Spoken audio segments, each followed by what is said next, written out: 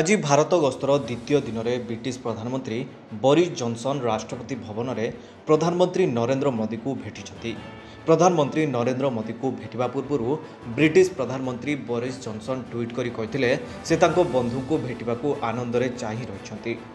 ରାଷ୍ଟ୍ରପତି ଭବନରେ ଜନ୍ସନ୍ଙ୍କୁ ଭବ୍ୟ ସମ୍ବର୍ଦ୍ଧନା ଦିଆଯିବା ଅବସରରେ ପ୍ରଧାନମନ୍ତ୍ରୀ ନରେନ୍ଦ୍ର ମୋଦି ତାଙ୍କୁ ପାଛୋଟି ନେଇଥିଲେ ପରେ ସେ ରାଜଘାଟ ଯାଇ ମହାତ୍ମା ଗାନ୍ଧୀଙ୍କ ସମାଧିରେ ପୁଷ୍ପମାଲ୍ୟ ଅର୍ପଣ କରିବେ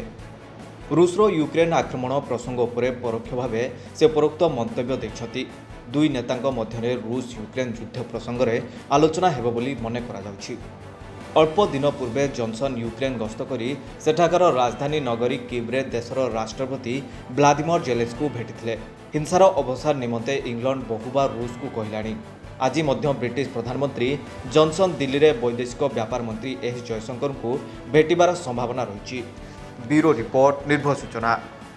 अधिक अपडेट पाई आम चैनल को लाइक शेयर एवं सब्सक्राइब करने को जमार भी भूलु निर्भय सूचना निर्भय सह सब आपण साथी